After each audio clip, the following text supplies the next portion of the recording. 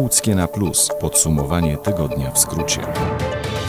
Na co dzień opiekują się dziećmi, których los ciężko doświadczył, opuszczonymi przez biologicznych rodziców ze smutną, wręcz dramatyczną historią. 23 rodziny zastępcze z naszego regionu podczas wojewódzkich obchodów Dnia Rodziny odebrały z rąk Grzegorza Schreibera, marszałka województwa łódzkiego, symboliczne statuetki aniołów. Wręczając Państwu dzisiaj te statuetki, traktuję wszystkie rodziny zastępcze w naszym województwie jako osoby, które są takimi aniołami. Podczas uroczystości rozstrzygnięty został też konkurs plastyczno-literacki Bajkowe Łódzkie dla dzieci z rodzin zastępczych, rodzinnych domów dziecka oraz rodzin wielodzietnych. W Łódzkiem mamy 2699 rodzin zastępczych i 59 rodzinnych domów dziecka.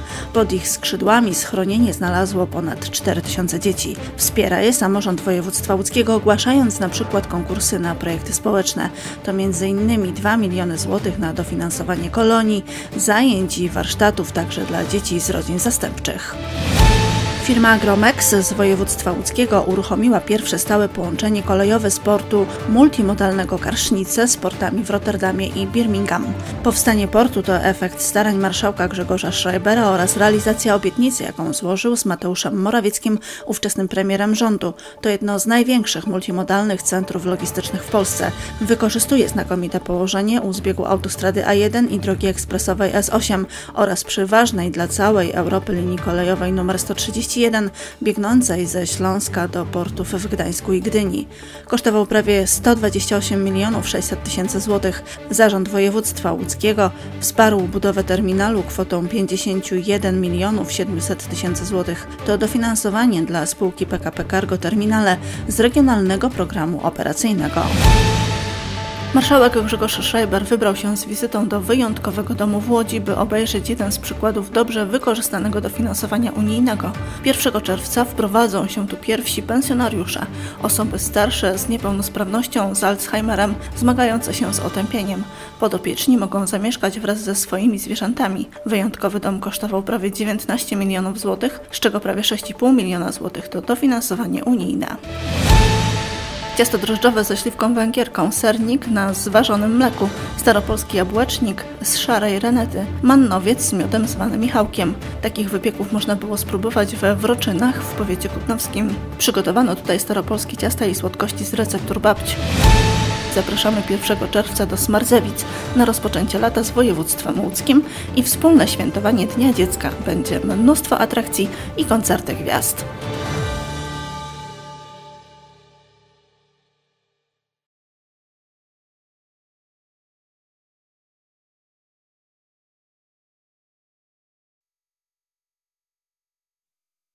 Uwaga, mamy nową promocję, tym razem dla nowych abonentów. Przygotowaliśmy dla Państwa pakiet praktyczny. Przy podpisaniu nowej umowy na 24 miesiące, biorąc pakiet podstawowy TV plus internet 150 megabitów na sekundę, zapłacisz jedynie 96 zł. Dodatkowo obniżamy opłatę instalacyjną. Dzięki pakietowi praktycznemu zapłacisz mniej. Zapytaj o szczegóły w biurze obsługi klienta Zgierz, ulica Lechonia 2.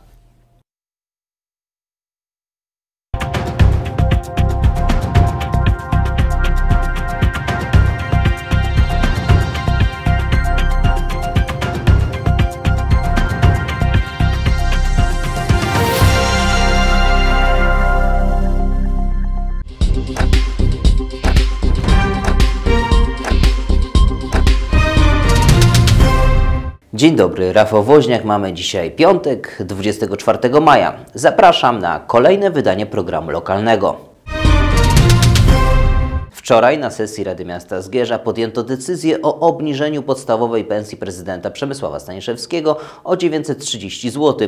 Pomimo zapewnień o współpracy między prezydentem a Radą Miasta, uchwała ta pokazuje, że porozumienie może być trudniejsze niż się wydawało. Rada Miasta Zgierza podjęła decyzję o obniżeniu wynagrodzenia prezydenta Staniszewskiego. Dotychczas prezydent miał pensję zasadniczą w wysokości 10 440 zł miesięcznie. Po zmianach jego wynagrodzenie zostanie obniżone do 9,5 tysiąca złotych. Prezydent dostaje także dodatek funkcyjny w wysokości 3450 zł, specjalny dodatek stanowiący 30% jego podstawowej pensji i dodatku funkcyjnego oraz dodatek za staż pracy według obowiązujących przepisów. Jakub Filipowicz ze Stowarzyszenia Przemysława Staniszewskiego skomentował to działanie jako destrukcyjne i niewłaściwe. Myślę, że jest delikatny falstart e, z projektem e, uchwały dotyczącej obniżenia, czy e, w tym wypadku obniżenia pensum pana prezydenta. Było to niepotrzebne. Przewodniczący Rady Miasta Łukasz Wróblewski wyjaśnił, że decyzja o ustaleniu wynagrodzenia prezydenta jest uprawnieniem Rady i była częścią normalnych procedur. Ono jest nieco niższe, jest w granicach kilku procent, pięciu bodajże procent e, niższe niż, e, niż to poprzednie, więc myślę, że tutaj naprawdę nie możemy, nie wiem, szukać jakiejś e, dziury w celu. To nie znaczy, że wszyscy muszą zawsze zarabiać maksa, no bez przesady. Podkreślił również, że decyzja ta nie miała na celu podważania autorytetu prezydenta. Prezydent Zgierza również wyraził swoje zdanie na ten temat. Zaznaczył, że decyzja Rady powinna być dobrze uzasadniona i oparta na merytorycznych przesłankach. Mieszkańcy wyrazili swoją e, deklarację w postaci dokonywanego wyboru i to oni określili, kto tak naprawdę będzie ich przedstawicielem zarówno w Radzie, jak i e, na stanowisko prezydenta i tak naprawdę radni powinni również kierować się tym wyborem, nie dokonywać pewnych politycznych rozliczeń, bo mam wrażenie, że też takowe w jakimś stopniu następują, pomimo tego, że te deklaracje padają trochę na innym poziomie, e, że to jest nowe otwarcie, nowe możliwości. Ja bym nie chciał, żeby coś było za coś, że dzisiaj to wynagrodzenie ma być mniejsze po to, żeby była podstawa do tego, żeby rozmawiać. Prezydent podkreślił, że jego praca wymaga pełnego zaangażowania i jest bardzo czasochłonna i zaznaczył, że jego obowiązki nie ograniczają się tylko do formalnych spotkań, ale obejmują również reprezentowanie miasta na zewnątrz, zarządzanie codziennymi sprawami urzędu oraz reagowanie na bieżące potrzeby mieszkańców. Pomimo zapewnień o współpracy między prezydentem a Radą Miasta, uchwała ta pokazuje, że porozumienie może być trudniejsze niż się wydawało.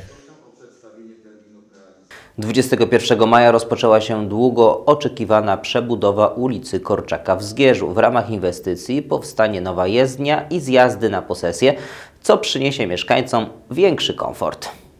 21 maja rozpoczęły się prace budowlane na ulicy Korczaka w Zgierzu. Jest to efekt umowy podpisanej 4 kwietnia 2024 roku. Wykonawca potwierdził, że tego dnia ruszyły roboty budowlane, które mają na celu modernizację infrastruktury drogowej w tej części miasta. W ramach projektu planowane jest wykonanie nowej jezdni oraz zjazdów na posesję z kostki betonowej. Jest to inwestycja, która ma poprawić komfort i bezpieczeństwo mieszkańców korzystających z tej ulicy. W związku z pracami mieszkańcy muszą przygotować się na pewne utrudnienia. Wykonawca będzie regularnie informował o konieczności parkowania samochodów poza pasem drogowym, co ma zapewnić sprawny przebieg robót. Warto zatem zwracać uwagę na komunikaty i współpracować, aby prace mogły zostać wykonane bez przeszkód. Mieszkańcy ulicy Korczaka mają nadzieję, że inwestycja ta znacząco poprawi jakość życia w ich okolicy. Mieszkańcy proszeni są o cierpliwość i wyrozumiałość w trakcie trwania prac. Będziemy na bieżąco informować o postępach prac, aby mieszkańcy byli świadomi, jak przebiega realizacja projektu. Już wiem, umiem, potrafię. Pod takim hasłem odbyła się ostatnio międzyszkolna Olimpiada Wiedzy dla pierwszoklasistów. 23 maja szkoła podstawowa nr 10 w Zgierzu gościła drużyny pierwszoklasistów, którzy brali udział w międzyszkolnej olimpiadzie pod nazwą Już wiem, umiem, potrafię. Najmłodsi uczniowie ze zgierskich szkół rozwiązywali różne zadania konkursowe, które później były oceniane przez jury. Jest to cykliczna olimpiada y, pod patronatem y, prezydenta miasta Zgierza. Odbywa się po pandemii trzeci raz, ale również była przed pandemią prowadzona. Kolejny raz, gdzie jest komplet szkół. Także myślę, że cieszy się bardzo dużym zainteresowaniem. Tematem konkursu była wiedza ogólna przyswajana przez uczniów z pierwszych klas, a przygotowane zadania zawierały pytania z różnych przedmiotów. Trochę matematyki, języka polskiego, przyrody, ale również zadania dotyczące patriotyzmu oraz uczące dzieci logicznego myślenia i mające na celu rozbudzenie kreatywności pierwszaków. Z matematyki rozpoznają liczby parzyste, nieparzyste, ale mamy na przykład y, trzy symbole narodowe, które muszą wymienić jako patrioci. Y, Były zadania na kodowanie kodowanie, gdzie trzeba było odkodować znaki, nakleić.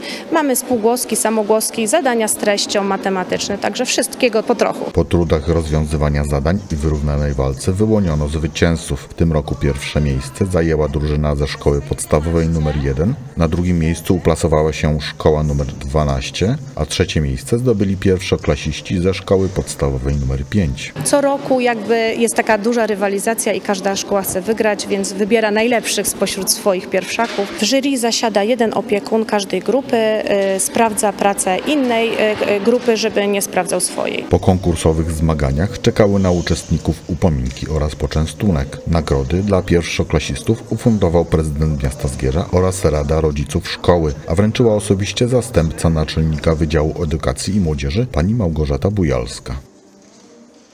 Za nami już kolejne zgierskie śniadanie biznesowe w tym roku, na którym lokalni przedsiębiorcy mieli okazję spotkać się z ekspertami i wysłuchać ich wystąpień. 22 maja w Zgierskim Centrum Seniora przy ulicy Narutowicza 29 spotkali się zgierscy przedsiębiorcy oraz osoby zainteresowane ogólno pojętymi sprawami biznesu. Mogli oni posłuchać szkoleń prowadzonych przez zaproszonych ekspertów. Spotkanie rozpoczęło się wykładem Automotywacja jako kompetencja przyszłości, które poprowadziła trenerka biznesu i coach rozwoju kompetencji menedżerskich, eksperckich i sprzedażowych. Temat niezwykle ważny i z punktu widzenia biznesu, i z punktu widzenia tak naprawdę życia każdego człowieka, a mianowicie sztuka automotywacji, e, czyli temat, e, jak my się sami motywujemy. Dzisiaj kilka słów o tym powiem, e, jak tą siłę z siebie wydobyć, żeby nie czekać na bodźce zewnętrzne, tylko zrobić ze sobą dobrą robotę. W dzisiejszych czasach pełnych zabiegania, stresu, pośpiechu może w pewnym momencie nastąpić wypalenie zawodowe, tak zwane zmęczenie materiału i może to dotyczyć każdego z nas, więc tym bardziej ważne jest, aby umieć sobie z tym poradzić. Odłożenie spraw związanych z pracą i biznesem na chwilę, oderwanie się od stresów i odpoczynek, wyznaczenie sobie priorytetów, organizacja pracy oraz umiejętność ponownego zmotywowania siebie i swoich pracowników to najważniejsze rzeczy, które powinien przyswoić i starać się wprowadzać dobry pracodawca. pracodawcy, ale też e, no, osoby, które prowadzą swoje działalności, czyli przedsiębiorcy, poszukują ró- różnych alternatyw. I ja zawsze mówię tak, że trzeba się zatrzymać na moment i tak naprawdę zastanowić, e, czego ja potrzebuję dla swoich ludzi, e, dla swojej firmy.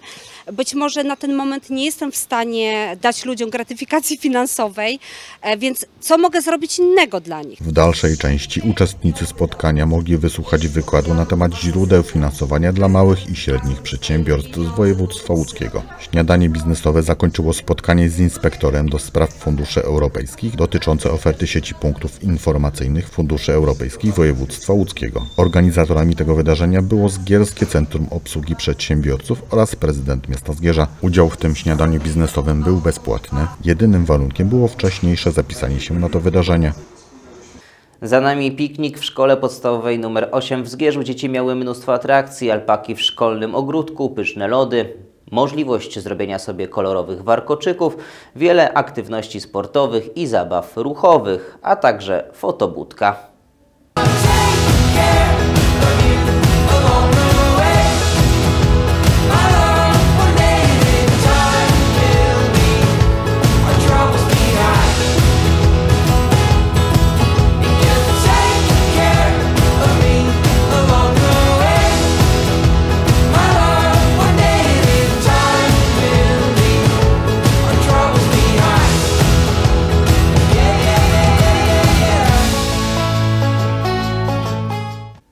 Dziękuję na dziś to już wszystko. Ja się z Państwem żegnam i miłego weekendu życzę. Do zobaczenia.